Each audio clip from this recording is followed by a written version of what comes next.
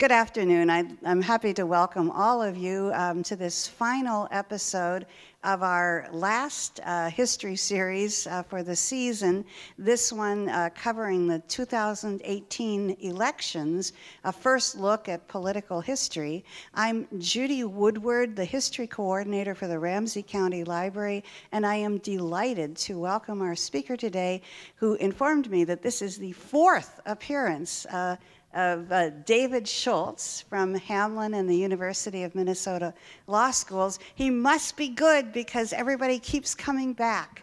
And uh, we're so pleased to have him. Um, Professor Schultz's appearance is made possible today by two sources that I must thank. First of all, the Osher Lifelong Learning Institute of the University of Minnesota our uh, wonderful co-sponsor and partner in these programs, and then Minnesota's Arts and Cultural Heritage Fund, uh, the financial underwriter of the series. That fund came into being uh, as a result of the passage of the Legacy Amendment in 2008 by the voters of Minnesota. So basically, I'm thanking everyone here and everyone listening for making these programs possible. And now I would like to turn the podium over to Professor David Schultz. Thank you. Thank you.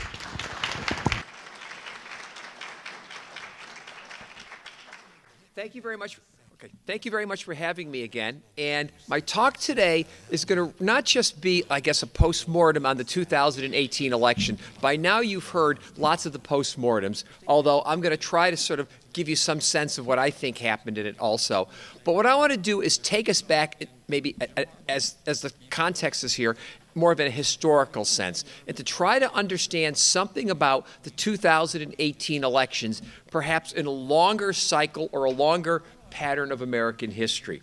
Now, there's several ways that I can introduce my talk today.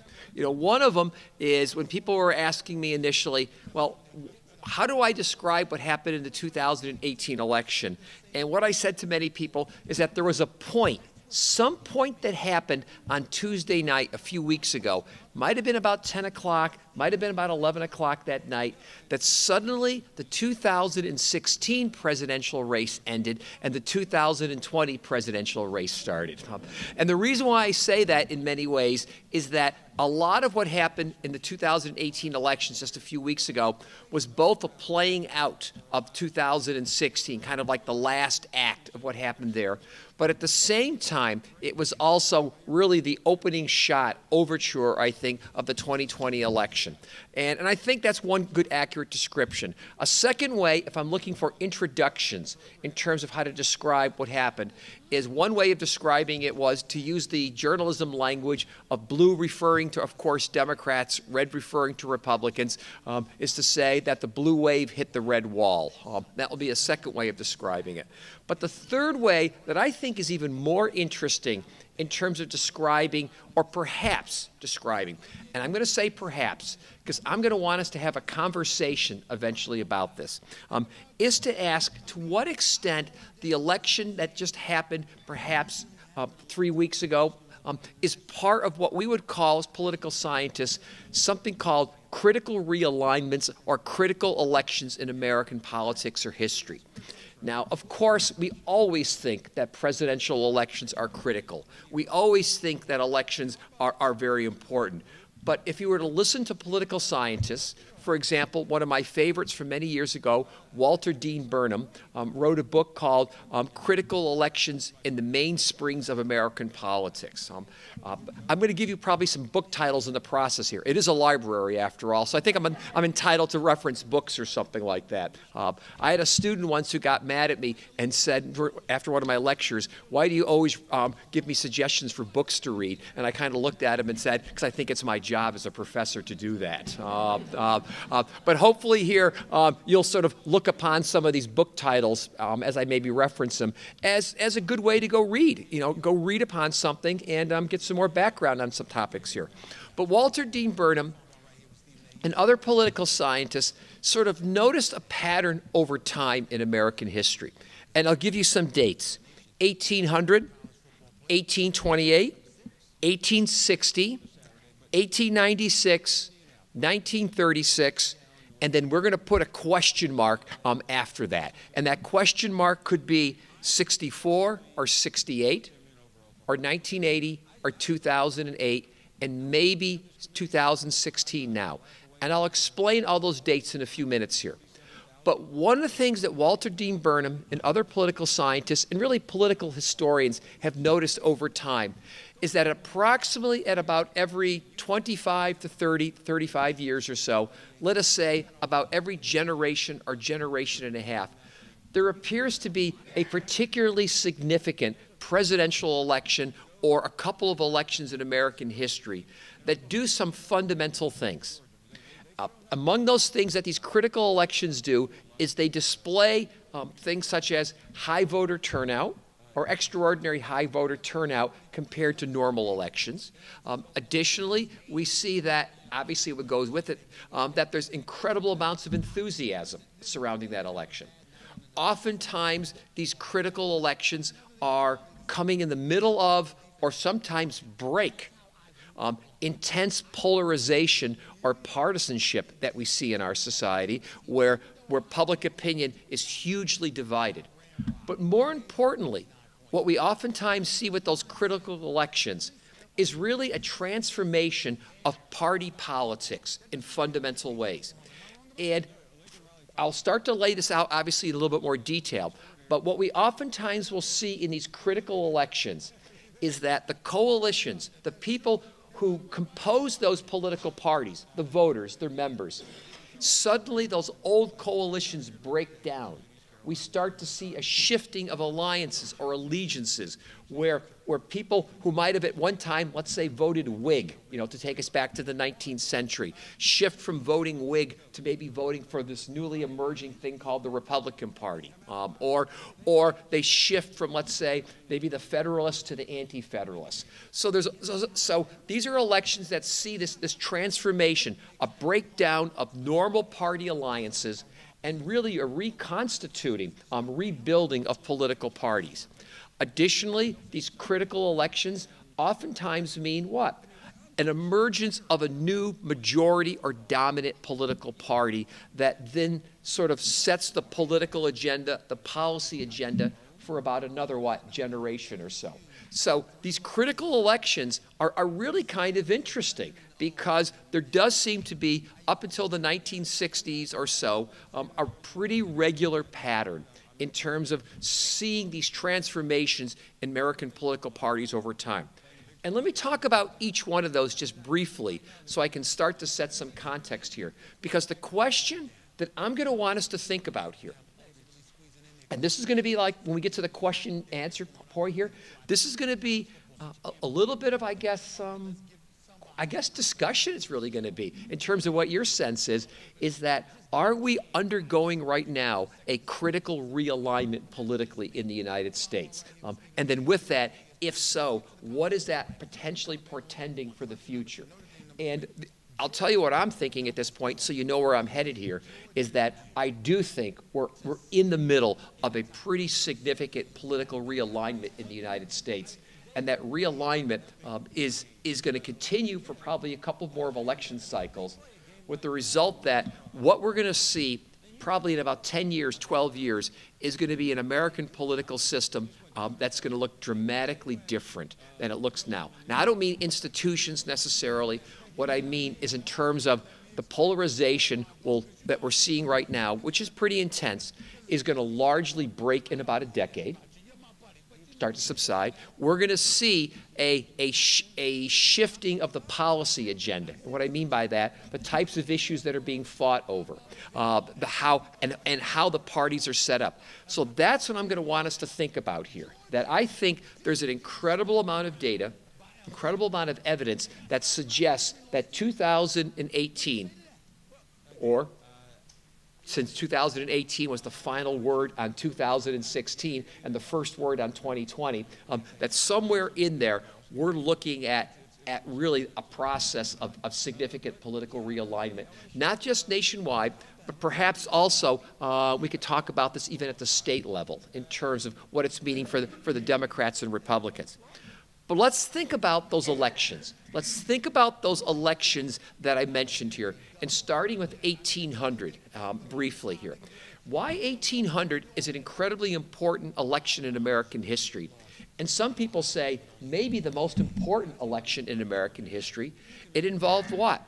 The first peaceful transfer of political power in the United States from one party to another and we forget about this, is that when George Washington, you know, was picked as president in 1788, George Washington, for the most part, was, was a, a nonpartisan, or at least a non-political person, in the sense that political parties didn't exist. I mean, yes, many of us remember our American history. There were the Federalists, there were the Anti-Federalists, but in terms of formal political parties, um, they really didn't exist.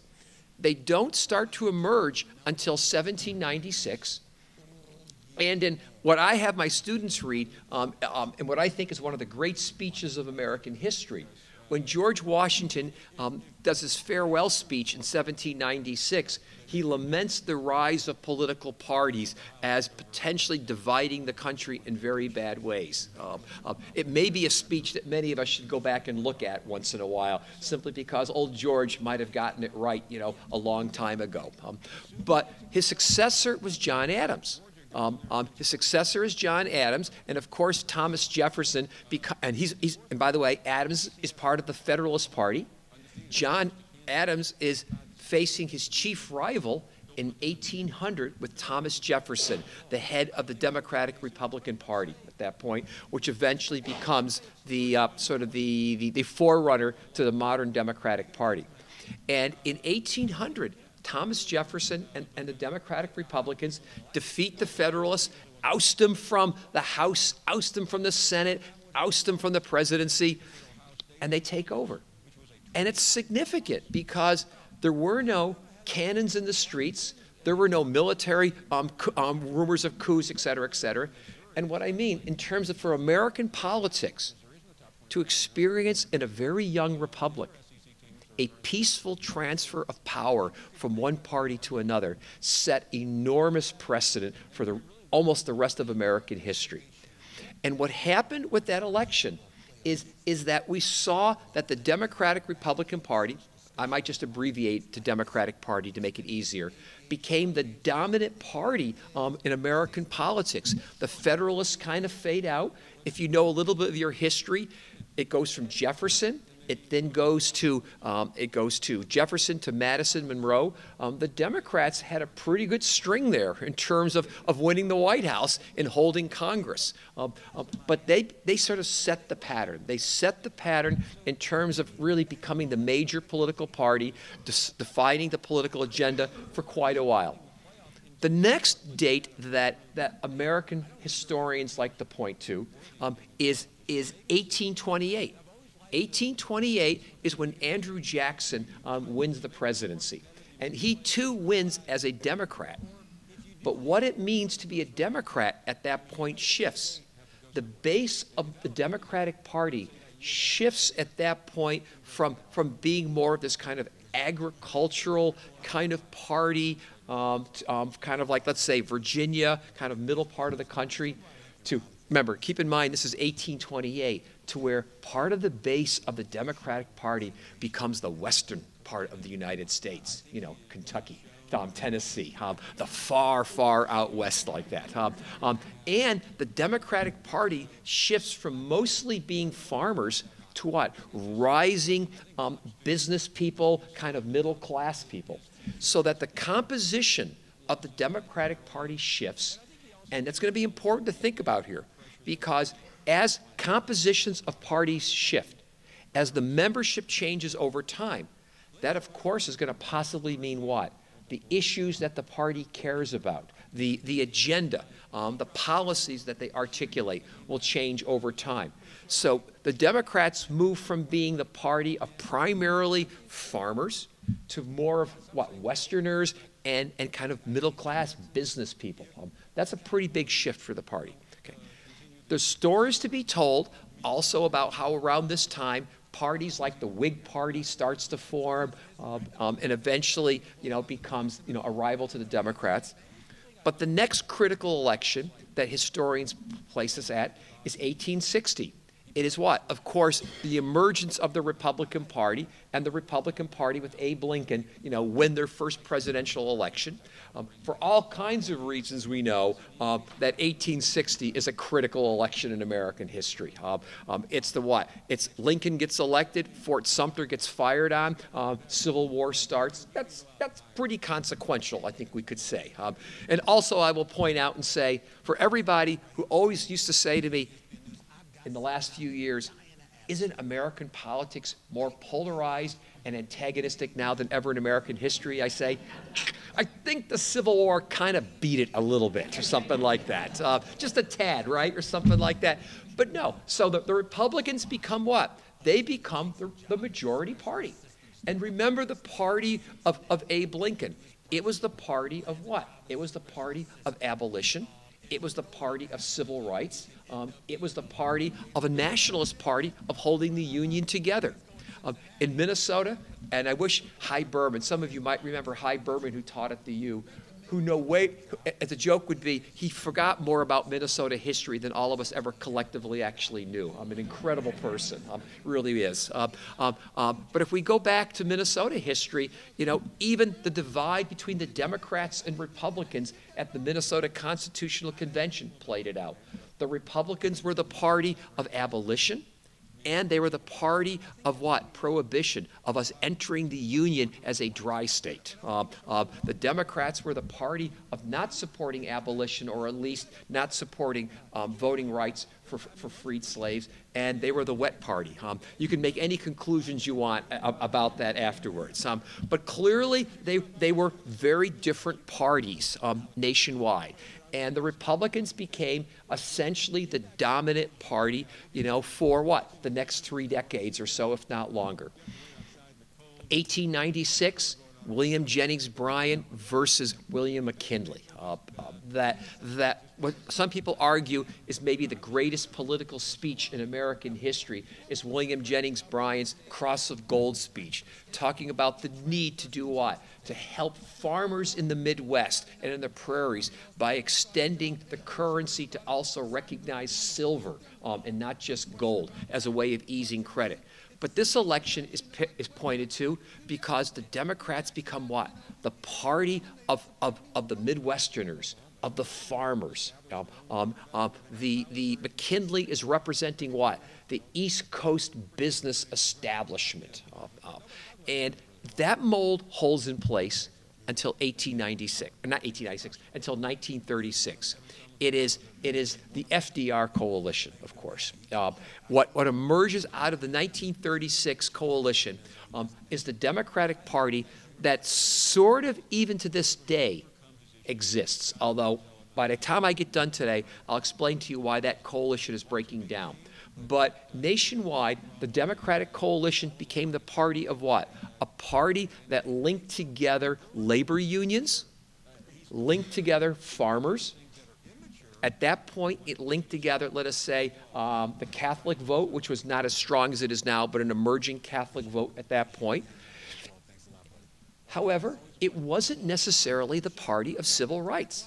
Remember, this is a party that was still solidly grounded in the South. Um, it was still winning all the states in the South. Why?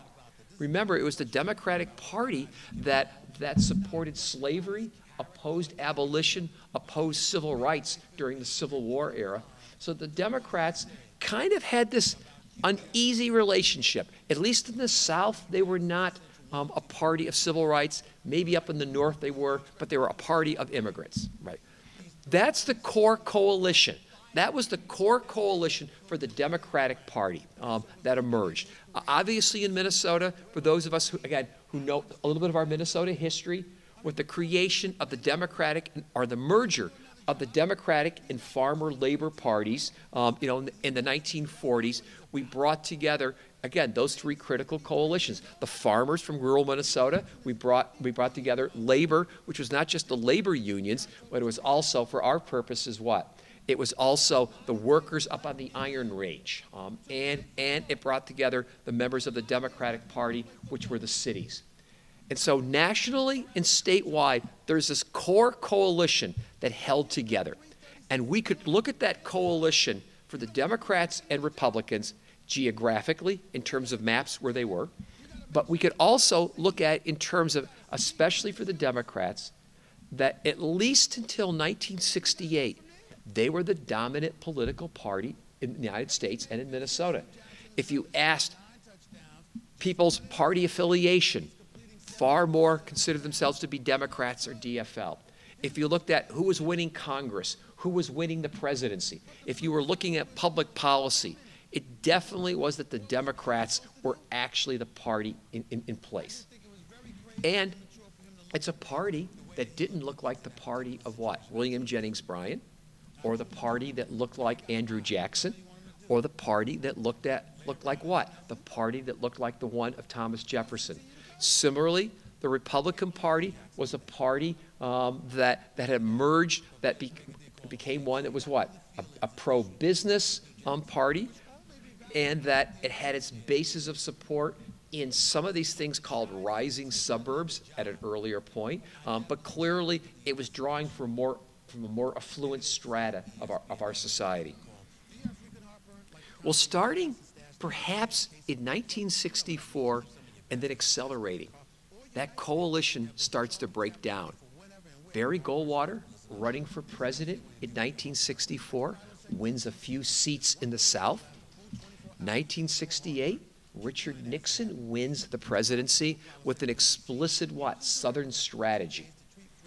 Famous line Lyndon Johnson, in signing the 1964 Civil Rights Act, pens it and says uh, that with this act, the Democrats have lost the South for the rest of the century. Uh, he probably was underestimating that um, uh, in terms of the potency and endurance of, of the Democrats' losses in the South. Um, there's a great book called Chain Reaction um, by the Edsels, E D S E L L S, that really sort of talk about the, the, the, the movement from the signing of the 64 Civil Rights Act in terms of how the Democrats lost the South. Really outstanding book to look at here. Um, but what we started to see is that the Republicans were, were successfully starting to appeal to, let's say, white Southerners. Remember, Richard Nixon was talking about what? The silent majority, uh, those people who seem to be somewhat um, um, hidden, um, those people who were concerned about law and order, who still supported the Vietnam War.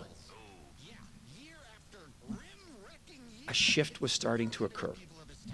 I should also point out, when I give my talks on polarization, that when people say, again, this is the most polarized, that is the president we've ever been, after the Civil War, I point out to people and say that for those of us who remember the 60s, a president was assassinated, his brother was killed, a civil rights leader was killed, um, the country was hugely divided by the Vietnam War, and for those of us who grew up out on the East Coast, watching the urban cores of many cities across the United States get burned down, things were pretty ugly back then, also. Uh, uh, and, and I wanted to say that the 60s were far worse uh, than anything today.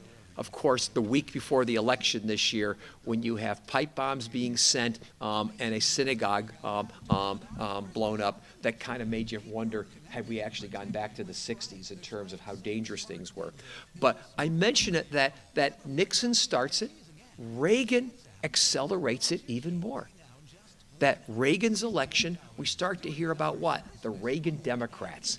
Uh, working class America moving more over, workers moving over from, from the Democratic Party to the Republican Party.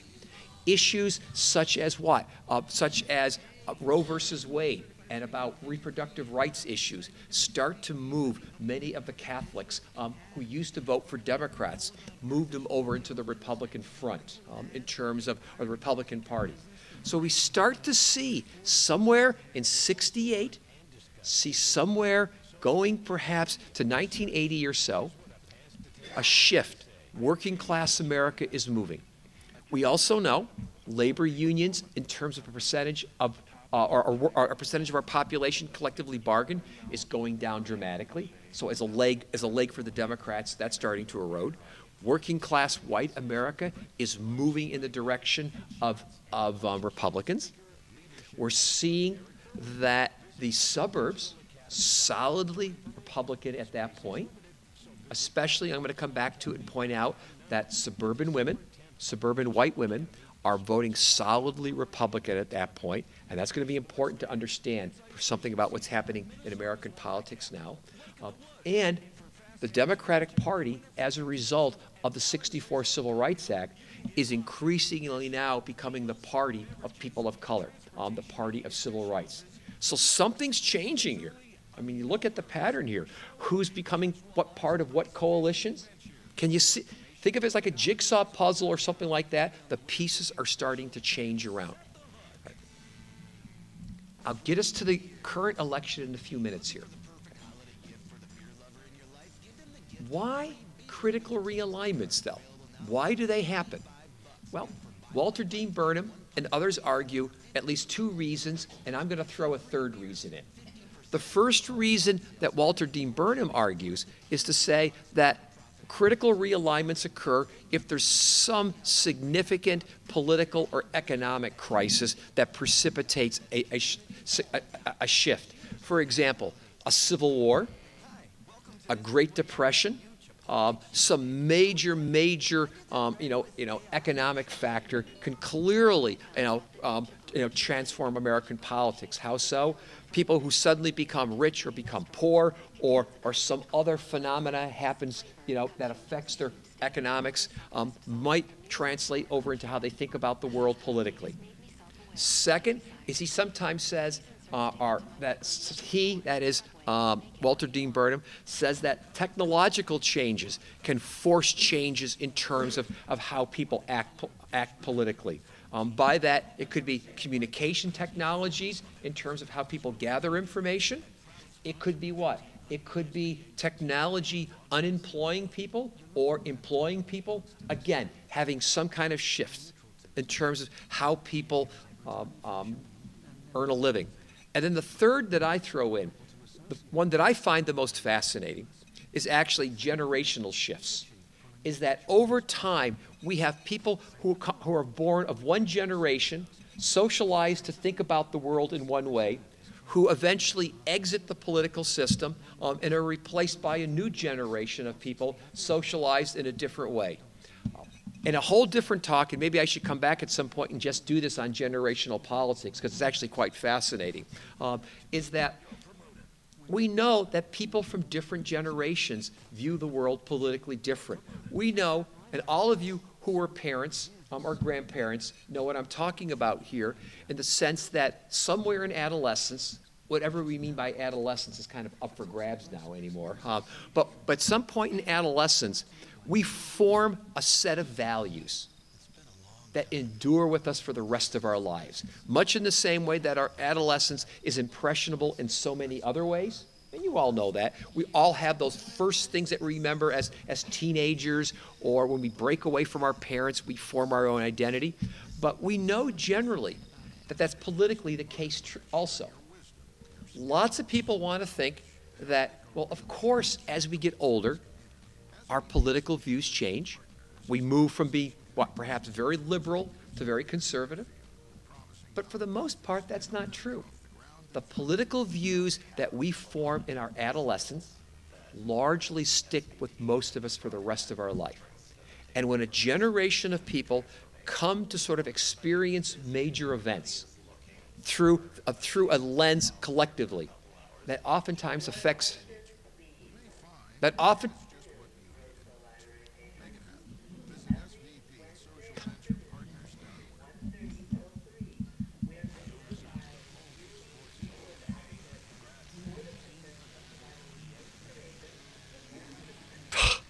Okay. Sorry. All right, I can outtalk her. I can outtalk her. Hell. All right. Uh, uh, that we know each generation seems to form a collective identity. Um, I've told people uh, in other talks, for example, that back in 2008, when when John McCain was running against Barack Obama, the way to capture that generational shift, how people from different generations think about the world is I showed two clips to students and, to, and I was on tour in Europe at the time giving talks. The, two, the three clips, actually. Clip number one showed, some of you might know this, a famous BBC newsreel of Neville Chamberlain returning from Munich, waving a piece of paper saying, I have assurances from Herr Hitler that we have blasting peace. Six months later, in, uh, Germany invades Poland, World War II starts. The second one, many of you have seen, the sinking of the USS Arizona at Pearl Harbor. The third scene, it is 1975, and it is helicopters over the U.S. Embassy in Saigon, now Ho Chi Minh City, rescuing Americans and others as the United States has lost the war. And I said, for people of John McCain's generation, those first two clips were all about what? The world is a dangerous place. U.S. military might can solve the problems, and I, as John McCain, a military person, am fit to rule the country. For Barack Obama's generation, it is about what? The limits of U.S. military power, that you can't bomb everybody into submission, and perhaps something else is necessary.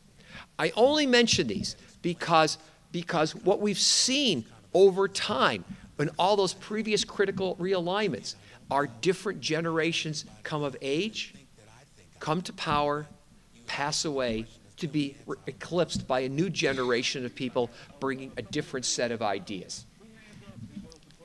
And the question we have to now think about is, is sort of twofold here. Where are we right now in terms of American politics in 2018, in 2020, going into the elections here?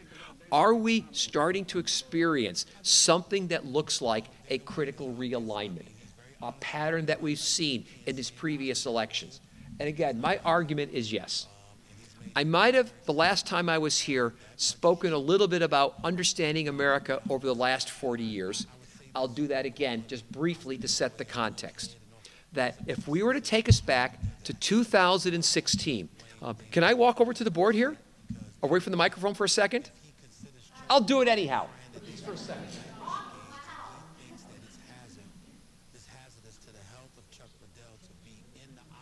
That's, that is supposed to be a bell curve. That is supposed to be a bell curve. I'm not a good artist, so pardon me. That is supposed to be a bell curve that would have captured American public opinion in 1976.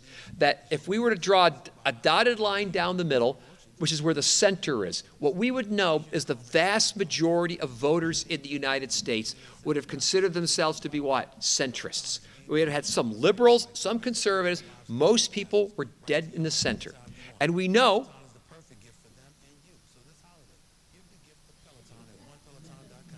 that the centers for the Democratic and Republican parties were not very up far, to, far apart from one another. Now, I oftentimes tell people at this point that one of my heroes is Willie Sutton, the bank robber, whose great line, when asked why you rob banks, he responded by saying, because that's where the money is, um, um, was, was quite brilliant. And I oftentimes ask people if in 1976 public opinion looked like that, if you are the Democratic and Republican parties, what kind of candidate would you nominate for office? And of course, the answer would be what? A centrist. Jimmy Carter, Gerald Ford was exactly that picture two centrists running. And that would be important to understand because the parties were converging together. The parties back then were what we call coalitional and not ideological. The Democratic Party would have had a Jimmy Carter, a, a Ted Kennedy, and probably what I'm trying to think of some Southern white racist, you know, um, um, Democrat back then. I don't know who it would be. You know, come, somebody could help me with the history or something. Lester Maddox or somebody like that. But you know what I'm getting at here. The Republican Party um, would have had people ranging anywhere from Barry Goldwater to Jacob Javits to Nelson Rockefeller. And the parties could actually get along because what? They were, it, they were not ideological. They were ideologically mixed. Additionally, back then, we also know that approximately one third of the members of the House of Representatives came from swing districts, districts that in any given election could vote Democrat or Republican. And that was important because no party had enough votes in the Congress to drive their agenda on their own. They had to get cooperation. And with that, also because there were 120 swings, they held the balance of power they had what? the incentive to compromise. Because if they went too far to the left, too far to the right, they were out of office. The final characteristic that I'm going to get us to 216. The final characteristic is the fact that about 10 to 15 percent of the voters were swing voters at that point. By swing, we would mean either split ticket voting or one election would vote Democrat versus one election voting Republican. That, that's our picture. But Something happened. Something happened in 40 years.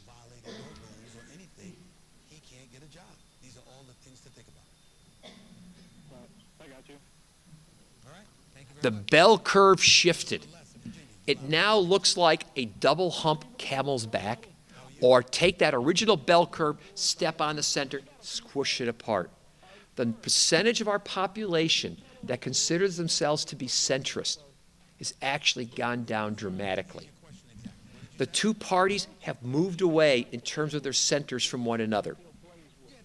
If Willie Sutton is correct, you would not nominate a candidate for office now who would be in the center, because why? There are no voters there. You would pick what? Or not, I don't want to say no voters, but not many. You have to pick candidates who are closer to the centers of your parties.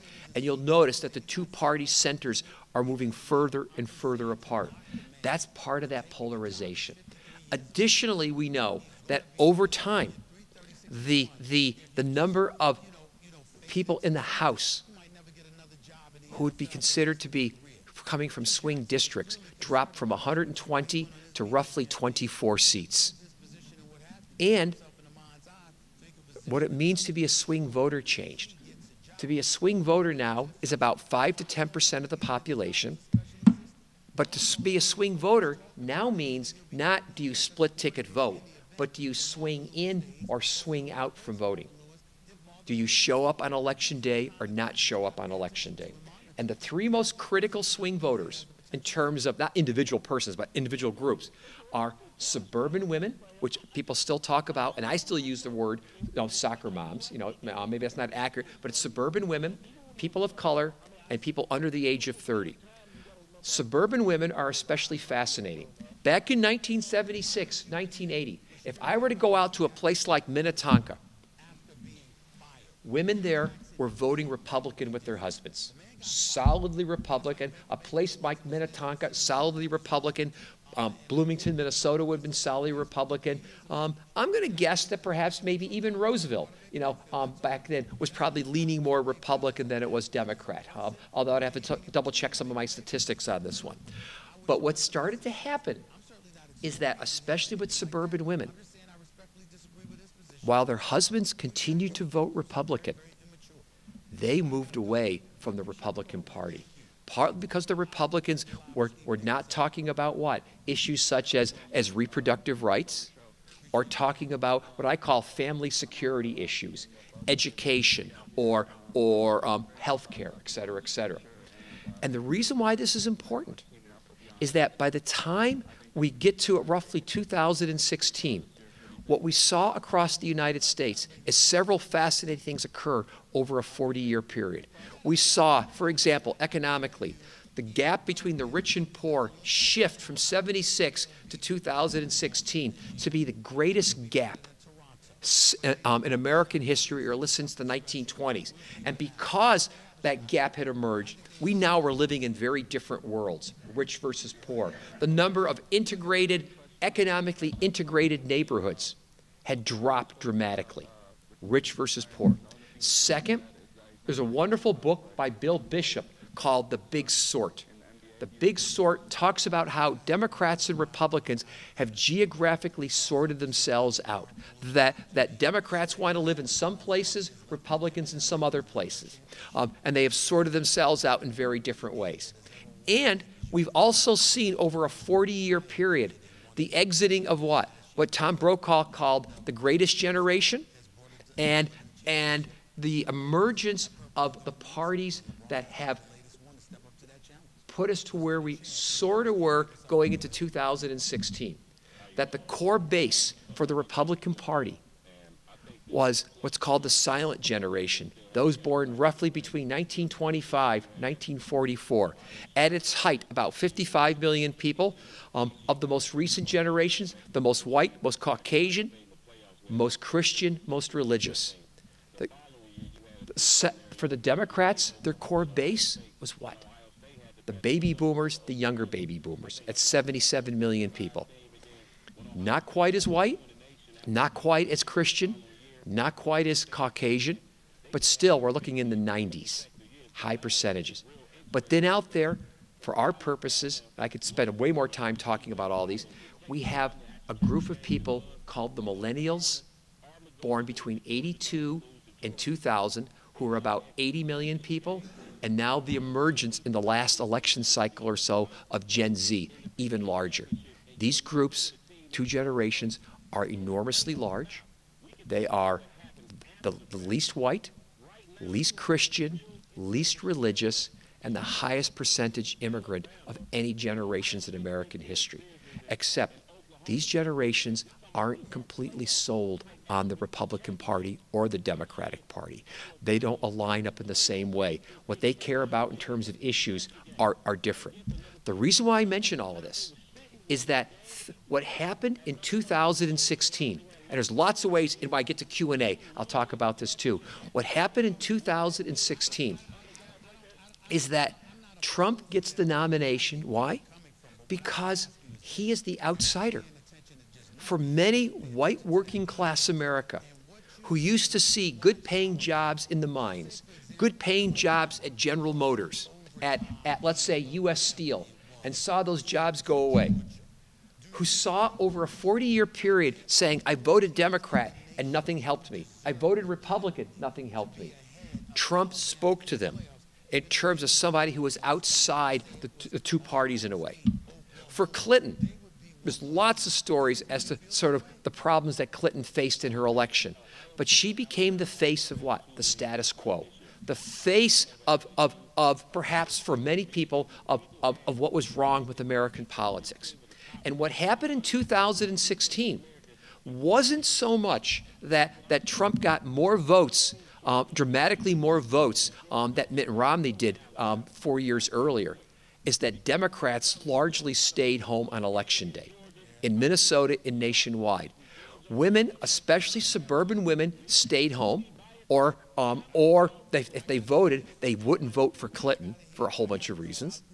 Young people stayed home people of color stayed home. In Minnesota, Donald Trump only got 2,000 more votes in 2016 that Mitt Romney got four years earlier. The big difference was what? Hillary Clinton got 180,000 fewer votes. And we could identify where it happened Hennepin County and in Ramsey County. Um, Democrats stayed home on election day. So, so what we were looking at in 2016 is a shift occurring, and we could start to see the signs. I've been telling people that if you look at Minnesota as a perfect microcosm of the United States, and it actually is in so many ways. There were two counties, Mower County, where Austin, Minnesota is, uh, Olmsted County, where Rochester is, that were fascinating. Historically, Austin, where Hormel was, labor always voted Democrat. It flipped Republican. Rochester, Minnesota, which used to be classic voting Republican, affluent, Mayo Clinic, IBM, has all but flipped Democrat now. The shift has started to occur, and we saw that in 16. So going into 18, we're starting to see white working class America, labor, moving dramatically out of the Republic, out of the Democratic Party to the Republican Party we're seeing labor move from the Democrats over to Republicans. Those without college degrees, again, another sign of working class, moving from Democrats to Republicans. And we started to see what? We started to see increasingly better educated, college educated people moving towards the Democratic Party. Pretty good correlation statistics. But as I mentioned to you, some of these groups, especially women, people of color, and and, and um, um, young people stay home on election day in 16.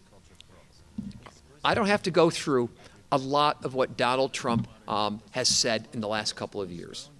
I don't have to sort of recite, I think, a lot of the language about about or this he had, or talk about people such as, um, um, well, we'll do it for any ranging from Bill Cosby to a whole bunch of others that that suburban women became highly motivated.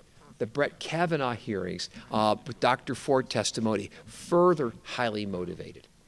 And what we saw on election day this past year was something really quite remarkable. Is that, is that this became the election that, if it wasn't clear before, suburban women, college educated suburban women, basically became the most powerful voting bloc in the United States. About a week before the election, I was out at Minnetonka High School and I was speaking to the students. And you know, this is the third district Erik Paulsen Dean Phillips race. And I said to them that where you are living is ground zero for American politics. I said that unlike in 2016, where the geography of politics was statewide, here the geography of politics was going to be in the suburbs, especially in suburban, affluent suburbs, dominated by better educated people and that in that election, even though, as I mentioned to you before, normally we would say there were only 24 or so swing seats in the House of Representatives because of so many Republicans opting not to run for reelection. Some of them because of distaste for Donald Trump, some for other reasons. There were approximately 70 or 80 congressional seats up for play in 2018, of which only one of those seats was presently held by a Democrat. The vast majority, in fact, almost all of them by Republican. And I said to my these students out in Minnetonka that that the third congressional district was a microcosm of, of the fight for the 2018 election. The third district in Minnesota, many of you know, is of course quite affluent but it is also the single best educated congressional district in the United States in terms of percentages of college degrees and so forth. And the women who are there have the highest percentage of college degrees of probably any group of women in any congressional district in the United States. Um, so I said, this is a pretty remarkable district. Uh, uh, and I said to them, um, and there's a great line here. I said to them, Your mothers are really important. And one of the students got mad at me and said, What are you talking about my mother about for? And I said, No, I'm not picking on her. I said, She's tremendously important. And if she shows up here and they win, the Democrats win that seat there, they're going to win control of Congress nationwide. Because if women show up this time, that's going to be a, a, a pretty big sign that the Democrats win. And they did. And what we found out is that the blue wave, again, to use the phrase that the journalist talked about, the blue wave that was driven in 2018 was largely driven by suburban, college educated, and we'll have to say Caucasian women. They turned out in enormous percentages to vote. in, in, in nationwide, women became 52% of the voting population in the United States. Minnesota, it was 54%. Um, um, women basically showed up in the suburbs, third district, second district, districts around the country, and largely shifted um, um, politics. Why is that important? I want to draw to a conclusion so I can get to questions and answers here. Is that what most people haven't noticed yet is that this election clearly is part of what I call this critical realignment. What we are seeing now is that the Republican Party is becoming more the party of men, becoming more the party of rural, rural areas, more the party of people without college educations, um, of people um, um, who, who are, um, um, well, well, we'll stay with that. The Democratic Party has become the party of especially women, to some extent still uh, people of color, uh, and that they're still part of the coalition, but suburban women are, are bigger drivers. It has become women who are um, better educated and more affluent. The gender gap between the two parties is enormous. And thinking about it down the line here, if women in suburbs are the major drivers of the Democratic Party, what is that perhaps going to mean in terms of the political agenda and the policy agenda um, for what the Democrats are going to be pursuing? Remember, 20 years ago, those college educated suburban women were voting Republican. Um, this is a pretty big shift that's gone on here politically. Um, and what we have some ideas of is that we do know that women and men do pursue oftentimes different policy agendas, um, do politics differently. Not always, but oftentimes they do. And so, where I set us up for 2020 is to say that we appear to be at a point where there's a significant mix, remixing of our parties, party composition, what those parties represent, and if this continues into 2020, we're going to see um, at the next presidential race a pretty significant shift going on. And then, of course, truly my last point is that down the line, we know that the silent generation, the baby boomers, are going to start to exit the political system. The millennials are going to start to show up. Uh, in more percentages, higher percentages. We're going to see the Gen, the Gen Zs show up. Their interest, their political agenda is very, very different um, than previous generations.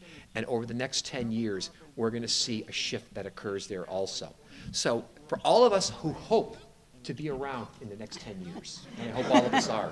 Uh, we're going to start to see with this election what I think is really going to culminate within a decade of a significant critical realignment in American politics um, that's going to look very different than it looks like right now. All right, thank you.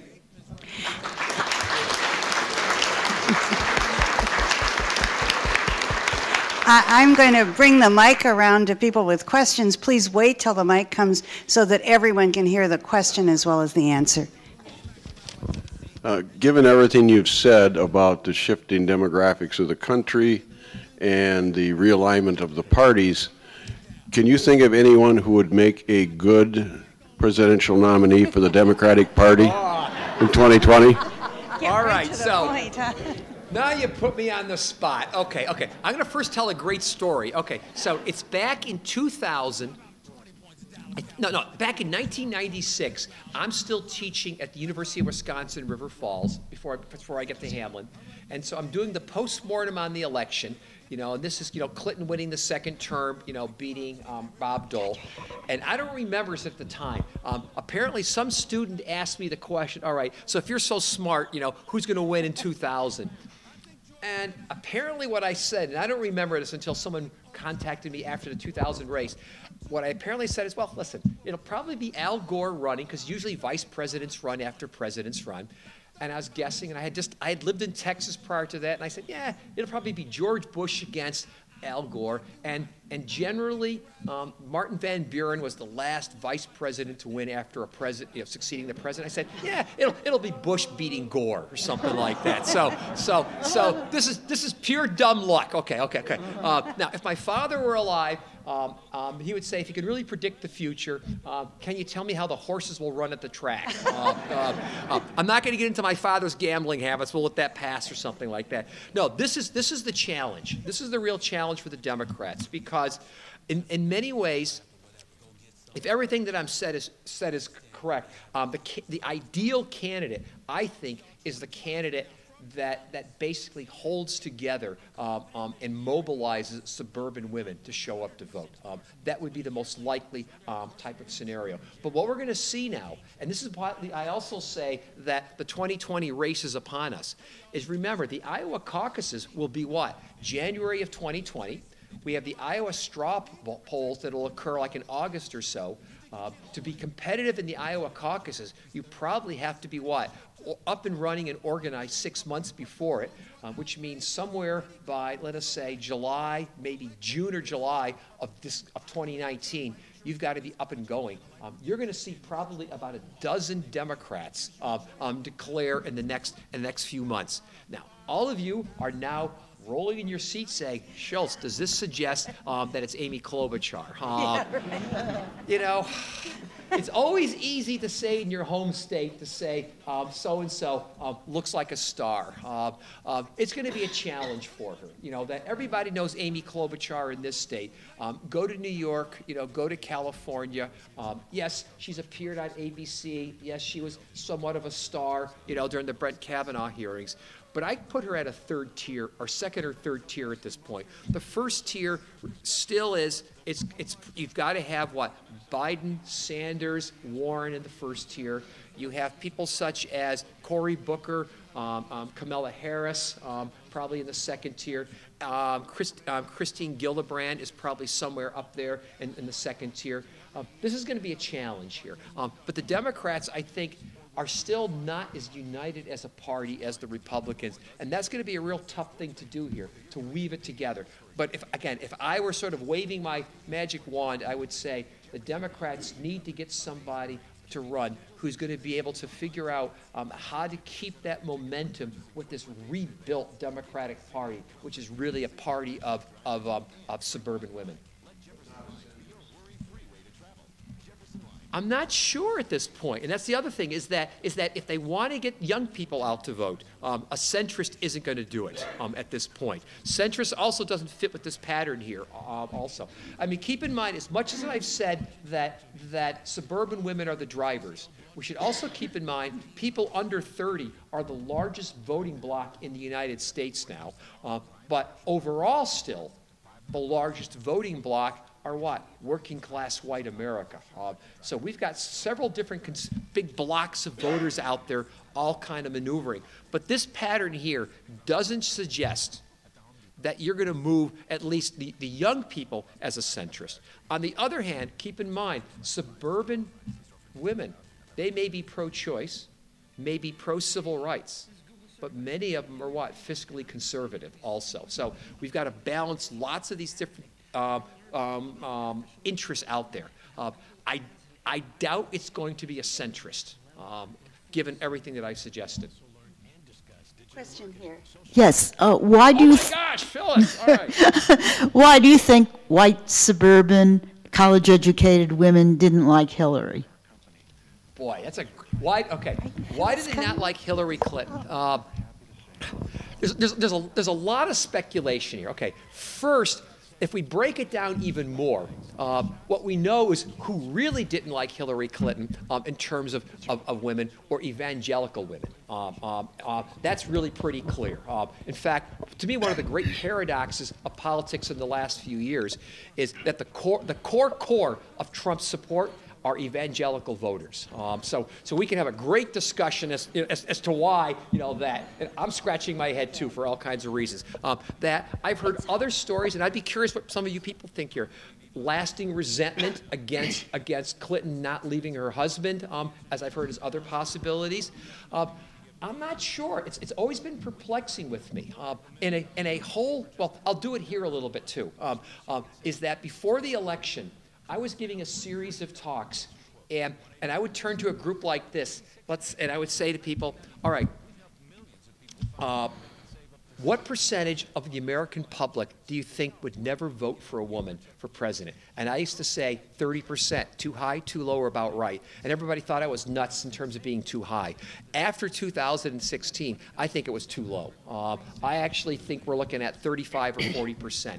That still doesn't explain the, the female factor. Uh, uh, but I mean, there are other reasons why Clinton lost, but exactly zeroing in on it, i am hearing it's along the lines of the resentment towards not leaving Bill, um, a subgroup, it's about the being evangelical. I'm not sure. Um, um, there's never been sort of really good polling and parsing of that data here. If anybody's got some good theories on that, I would love to hear. I mean, Phyllis, do you have any good theories on it? Yeah. Yeah. Yeah, I know. I, I, was, I, was, hoping you were asking a leading question that you didn't have an answer to or something like that. No, it, I mean, it, it, it is, but yeah. The, what, what, what doesn't surprise me is, the, is suburban Republican women leaving the Republican Party. Um, that, that makes sense to me, you know, you know, given the issue agendas and the shifts like that. But why they opted to stay home on election day two years ago, tougher to figure out, except maybe I'll invoke one answer, also, another answer. Um, I still think one of my other favorite books, give me 10 seconds here. Uh, go read Tip O'Neill's book called, I think, I can't remember if he called it Man of the House or Speaker of the House. I can't remember which it Man was. of the House. And, I, uh, it's his autobiography. and of course, we always know one of the great lines of Tip O'Neill, who says, said, never take a vote for granted, always ask for votes. Um, and part of what Clinton's mistake was in 2016, she took votes for granted. And, and, and, and she never really went out there and asked women for the, for the vote. And maybe that was part of it too. Maybe that's maybe the best answer. We've got a David. question back here with the mic. Yeah. David. She, she gets to control everything. Okay. How important was distaste for Trump as a unifying factor for the Democrats in winning the House in 2018?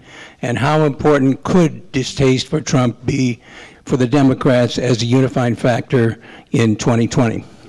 No matter what anybody says, even though polling data, I think, always said healthcare is the number one issue, the economy is the number one issue, I always thought those were surrogates um, or, or, or immigration. They, they were all surrogates for what? For Trump. I mean, uh, you know, Trump wanted to say at the same time, it's all about me and it's not about me. He was right. It was all about him. Um, and the Democrats, I think, significantly benefited, you know, from, from that anti-Trump fervor. Again, especially the polling data is suggesting that suburban women um, were, were, were very, very um, angry with Donald Trump um, and, and, and basically cast very broad votes that threw everybody out. Uh, Phyllis heard this talk um, a couple of weeks ago, or a few weeks ago, and she knows where I'm referring to here.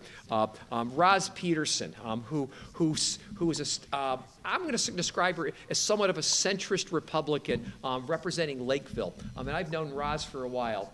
She, um, when I gave a talk to a bunch of former state legislators a few weeks ago, she grabs me as I walks in, and she had lost her election. And she said, Did you know I was going to lose? And I said, no, but in hindsight, now I know why you did. Um, um, and the reason why I say that is that, including in Minnesota, um, voters just went in, especially suburban female voters, and just voted against all Republicans, um, um, because, and and partly that they're anti-Trump.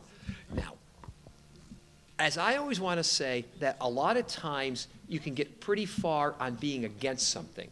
But at some point, you still need the powerful message or narrative uh, about what you're for.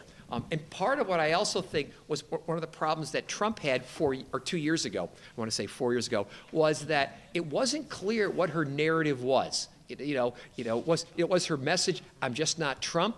Um, it's my turn now, or what is it? And I think the challenge for Democrats now um, is articulating um, as they take over the House of Representatives, not just to be the party that opposes Trump, but to be the party that does what? That actually, if, if I were giving them advice, I would say identify your core half dozen issues, pass that legislation, send it to the Senate, make them reject it, um, and then run like hell on that in two years. Uh, Anti Trump will get you some of the way, but remember, when two years from now, Trump, if he's run, is on the ballot, and if he's on the ballot, uh, his supporters will be highly motivated to show out, show up. And if he doesn't run, what do you do?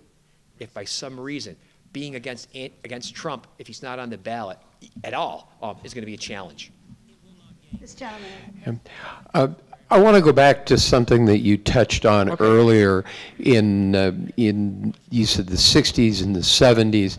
uh, Because of the number of swing districts and for other reasons, uh, politics in the legislature and with the White House were coalitional. People came together uh, in areas where they could agree. We now have divided government at the federal level and here in Minnesota. Uh, we've seen the effects of, we've seen what gridlock does the last couple, last four or five years. Nothing gets done. Do you believe that there are any dynamics or anything at work that will change that going forward the next two to six years? Or are we in for two to six years of more gridlock, nothing getting done, even when everybody agrees, for example, we need an infrastructure bill, we need to make changes uh, to health care, we need to do things in other areas. Yeah, yeah. My, my um, sort of two observations. My, my pessimistic short term prognosis is is that the polarization exists. You know, I mean, I thought, for good or for bad, you can make your own judgment here. I thought when Trump got elected and the Republicans had control of both houses, that they're going to be able to move whatever they want. I never thought I would see single party gridlock, um, um, which is essentially what we have right now. Now, that speaks to a whole bunch of other issues in terms of Trump's skill sets, et cetera, et cetera, like that. But, uh, but short term, I don't see anything breaking up, even though beneath that double hump camel's back. If you can get people beyond the partisan labels, there's powerful agreement on lots of different things. And let's just pick two or three issues right off the bat here is that despite all the rhetoric that we hear, cut through some of the language. About 80% of the American public says there ought to be universal background checks before the purchases of guns. Uh, uh, there is high percentages of the population that support the banning of certain types of you know, automatic weapons. Uh, uh we forget about the fact that, that about 60% of the population, if not higher percentage, um, actually support reproductive rights and, um, um, and, and women's right to terminate pregnancies. We know that very high percentages now support LGBTQ rights, uh, and we can march through a whole bunch of others. I remember back in the 1990s, I used to teach at Minneapolis Community and Technical College as the greatest experience in my life. I taught in a Saturday program, and, and I taught uh, a class on welfare reform. Um, and everybody in the Saturday program I had for several years, they were all on, back at that point, was called AFDC welfare. And I used to bring in the statistic, and public opinion polls would say, ask the question, do we spend too much, too little, or just about right on welfare? 70% would say we spend too much on welfare. But then if you could ask the public, do we spend too much, too little, or just about right on, on helping the poor? 70% said we spend too little on helping the poor. Uh, uh, it's about the words and it's about the language. It's about how we frame things. And, and, and, I, and right now, the way the two parties are framing things, it automatically leads to a lot of this deadlock also. And, and at some point, we have to figure out how to rhetorically change some of this dialogue. Now, some of this is, some of this is, is not going to be changed by dialogue, by, by, by, by, um, by framing. But certainly, what I'm trying to capture here, I don't know how we tap into that underlying consensus that there is out there on so many issues. You know, you know, maybe I'm in a bubble. I speak mostly in the Twin Cities. You know, I, I travel the state. I think I have Johnny Cash's I've Been Everywhere Man. You know, I, you know, I play it on the radio because I travel over the state. But even when I go to like rural Minnesota and speak, um, it, I, I, see, I see the agreement on some basic stuff, but we just can't seem to get there. And, and I wish I were a smarter person to tell us how to get there. John. Can you tell us what you think will be the key wedge issues that determine control of state governorships and state legislatures in 2020? The key issues for state governorships and so forth. Well, if the economists are right, we're probably going to start to see sometime in late 2019, early 2020, the economy start to slow down. Uh, I mean, we're already starting to see signs of that.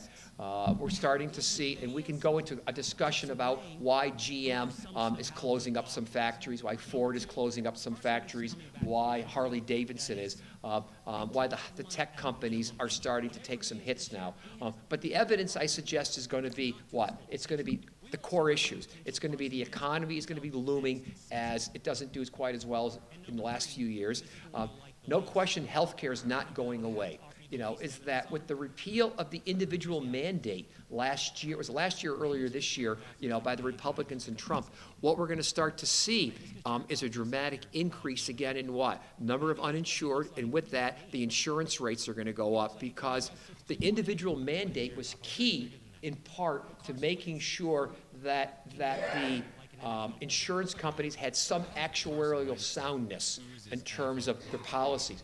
So healthcare is going to be the issue. I think it's going to be the issue all about um, um, the economy.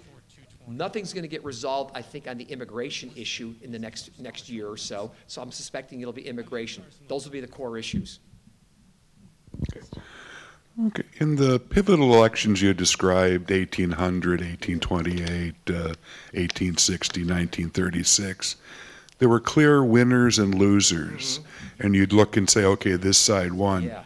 When we have our alignment, who's going to win, and what does that mean? Yeah, good question here. Okay, first, notice how I put a lot of question marks here.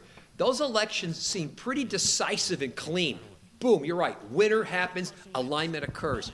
We've kind of been sort of dragging through an alignment here for like 25 or 30 years, it seems like that. It's, it, you know, maybe even longer now. Um, there's somewhat of an alignment with Nixon, somewhat of an alignment with, with, with Trump. Maybe 2008 was a counter alignment or something like that. So it's, it's not really very clear. Now, longer term, we are going to see, I think, some interesting winners and losers.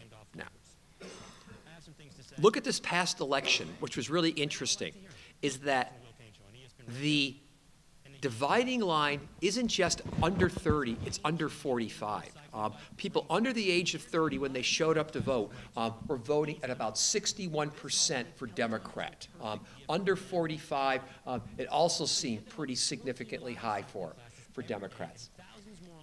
Roy Teixeira and a few others a few years ago made the argument, Roy Teixeira being a, a, a Democratic tactician or strategist, made the, made the argument, you know, demographics are destiny. Demographics are not destiny. Demographics lead to the possibilities of significant change, but you still have to have good candidates, good messages, good strategy, et cetera, et cetera.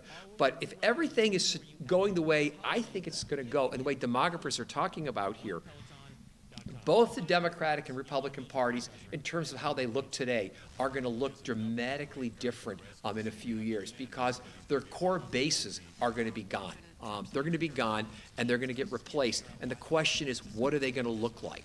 Um, um, and, and, and, and it suggests a, a, a, an American future that probably looks, if we can use today's language, more liberal, more secular uh, than it is now.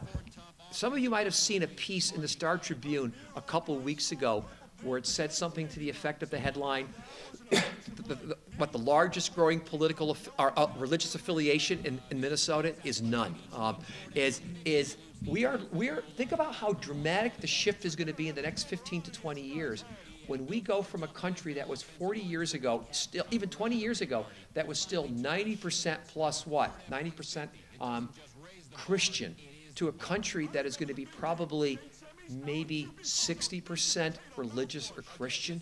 Uh, for anybody who's ever been to Europe. Um, we're moving towards the direction of Europe of being kind of, uh, I would call it like like secular Christian or or secular non-denominational. Um, that and think about how that plays out for social issues.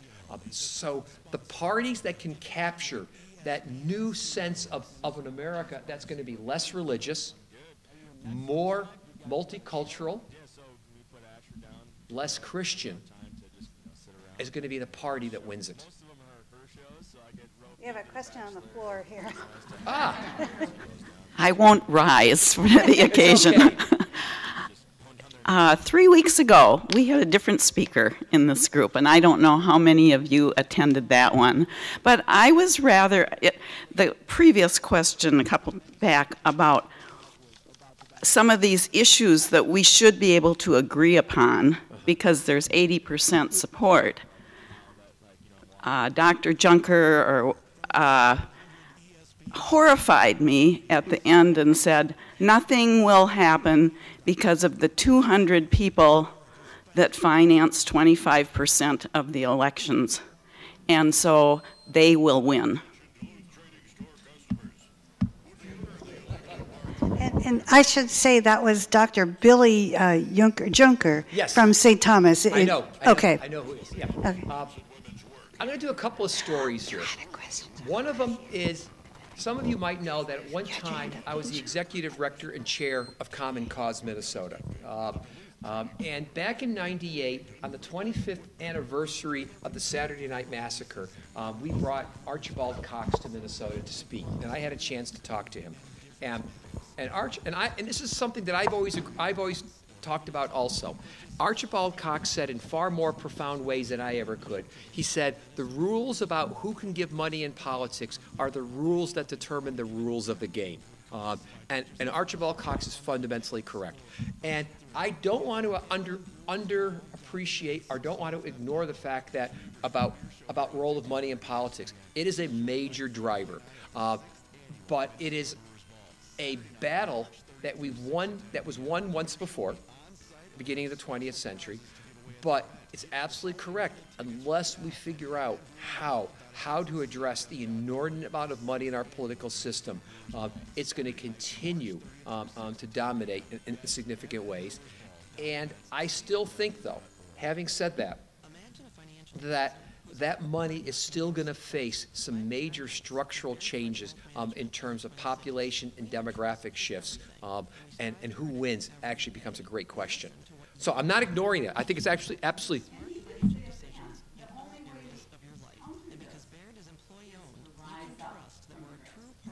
And it's either rising up or the grassroots changes, and the grass is changing. Yeah. This lady. I'm wondering, it's pretty clear now that for most people, climate change is very far down on their list of things to worry about. And, and maybe this does relate to the question the other woman just asked about um, financing of the people who have the money and the power and want things to stay. Do you see any time in the future, fif- 10, 15 years, when that's going to change? Uh, will we simply, I mean, will it just things sort of fall apart and people will never quite catch on? Or do you do you see any time when this might become important? Do you see this maybe with the millennials or the Gen Xers? Yes, I do actually. If you look at if you again look at the polling data for for millennials and and for the um, um, Gen Zs actually, it's the Gen Zs who are coming after them. Uh, that this is nearly the top of their list of issues. Now they of course are still concerned about the issues that all of us are concerned about. Uh, as I describe it, getting a good job, paying for an education. Uh, I'm not being silly when I say my students talk about what? Um, falling in love and having a family. I mean, I mean, there's some core things that they still care about. Um, but I'd say more so than the baby boomers, more so than the silents, even the, you know, even the Gen X's. Um, um, they, they see that as, as a big issue. And again, Think about what I've been talking about here. We could also look at how the opposition to addressing global warming in the environment has a generational aspect to it.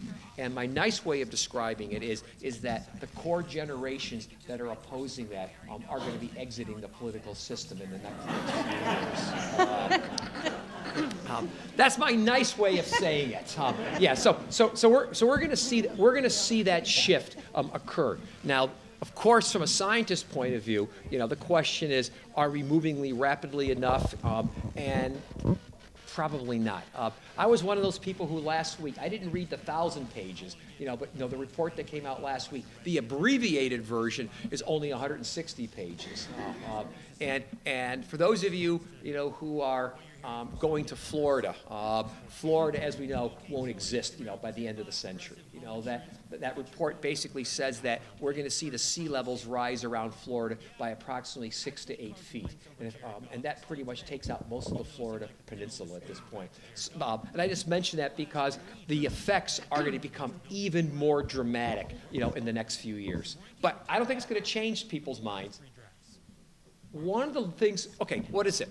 Hegel, a philosopher, once said that one of the lessons of history is that we never learn the lessons of history. Um, uh, um, but one of the lessons of history is the fact that, that people don't change their minds. What happens? One generation who believes one thing exits, another replaces them. That's what's going to happen. Yeah. And whether or not it's too late, that's, that's, that's really the question now. We have a question back here. Great. When you were um, discussing the three tiers of Democratic candidates, you didn't include uh, Beto O'Rourke. I just wonder what you think of him. Beto O'Rourke. It's always he's clearly going to have his constituency in, in, in 2020. The leap from going from Congress, you know, House of Representatives to the presidency, that's a pretty pretty big movement. Uh, not ruling him out, you know, but but but, cer- but certainly in terms of and, and do I, where do I put him? He's not first tier. Is he second or third tier? I don't know. I mean, he's clearly going to be a name that's out there uh, to, to, to be looked at. Uh, how he plays on the national stage, that's going to be an interesting question over the next, what, six months or so. And whether he even wants to run, I don't know. Uh, that's also a good question too. Now, I've also heard some people say that he's he's an ideal what vice presidential candidate too, in terms of a possibility. So so there's, there's lots of opportunities. So so he's he's probably not gone from the national arena. I'm just really not sure at this point how to assess him in terms of where does he fit in that tier. Does he, does he, does he want to run? Does he want to run? There are going to be quite a lot of women heading to the House of Representatives in 2019, having won elections across the country. Um, what, if any, effect will they have on the way Congress does business? In other words, will they have an impact on polarization? Will they increase it? Will they have no impact? Or will they decrease it? What does the research show? What does the research show? Okay, there, there is, well, clearly you can't say that every woman will do X or believe Y in the same way that we can't say that every person who's male or black, et cetera, et cetera, like that, are Asian. Um, but in general, we have some pretty good research out there, and I think Barbara Conway's book, i think that's who it is, one, did one of the first books on it that really looked at women and public policy and women and legislators um, and suggests that women do have a style that is different than men, you know, collectively, certainly not every single one, um, um, and that the issues that they pursue are oftentimes very different than men. I suspect we're going to see a, a, a small shift um, in terms of how some things get done in Congress. But keep in mind something also interesting. Yes, this is going to be, uh, we, we elected the largest number of women to Congress this year ever. What does Congress shift from? 19 to 22 percent female.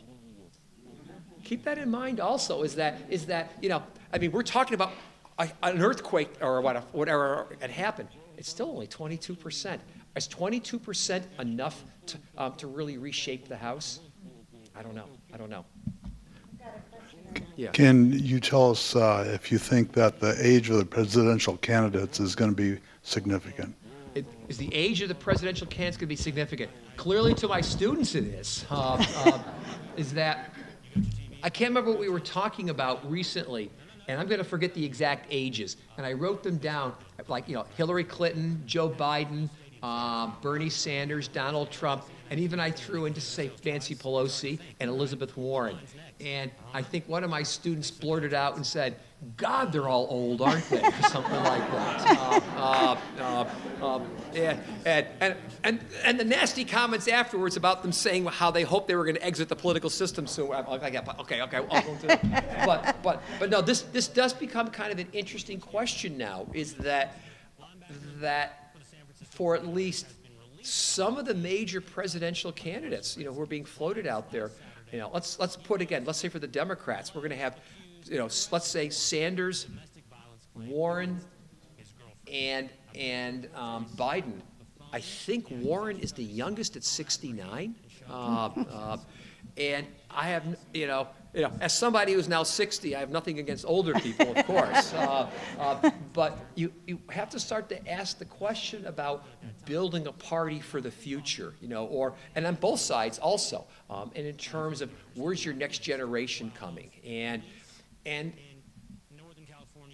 I'm not sure how much those candidates will excite younger people. Now, having said that, of course, the irony was in 2016, people under 30 were really excited by Bernie Sanders. Uh, uh, he was their candidate. But yeah, I, I'm sort of hoping, you know, that we can start to get that next generation of people coming up. We've got time for a few more questions. Is there anyone who has not yet asked a first question who has a question? Okay, I'm going to give it to this lady and then I'll. Thank you. I'd like you to talk a little bit about the, the um, issues that are facing Nancy Pelosi between among the newly elected progressives who are kind of opposing her but don't have a candidate, but want to also change the way the party is run, the way politics is run in the House, how chairmanships are picked, and all the rest of that, and, and how you think that's going to impact how she can, I assume she's going to get, I'm sure she's going to get elected, but um, anyway, just talk about that whole, and may, whether that portends something about what change we're going to have to look at as thing, and should look at sure. as things go forward. Yeah, I think one of the challenges Pelosi faces right off the bat, of course, is the fact that, that her margin of, of, of a majority is not big. So she can't afford to lose too many votes um, um, uh, in terms of, of, of Democrats. And it would be great to say I wish I could say that she's that the Democrats can afford to lose a few Democratic votes and they're going to pick up some Republicans vote there. But the voting patterns aren't going to suggest that. Uh, now, there may be no place for some of those Democrats to go but to say they have to support Pelosi, because you're right, they don't have an alternative. Two, uh, I can't imagine at the end of the day that they're going to basically keep voting down. At least they, they, they, if they were smart, they wouldn't keep voting down all the things that the Democrats are going to try to push. Um, I think the real challenge, and I was talking to one of my former students about this yesterday, is, is that it, Pelosi's task, again, I still think is if, if everything I've said is accurate, she has to make sure she keeps suburban women in the fold and coming back in 2020.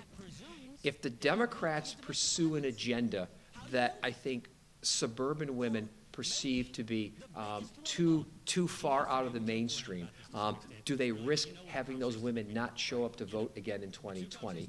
Um, at the same time, again, the challenge is is that these these younger, you know, progressive, you know, members represent constituents who want to see something shift um, shift in terms of American politics. Uh, I I really don't envy her job, you know, in terms of what she has to weave together here. Uh, However, she's a very smart politician. Um, uh, yeah, she's a, she's a very smart politician. And the other thing I was going to say is on one level, she, of course, is going to be what? The Hillary Clinton of 2020. And what I mean by that um, if, is that take that 30 or 35 percent or 40 percent of the American electorate um, that, that I said wouldn't vote for a woman in 2016. I wouldn't be surprised if now, as we saw in the 2018 elections, um, the election is running against Nancy Pelosi also. Um, so these, again, I wish I could give you a great answer in terms of how to navigate it, uh, but but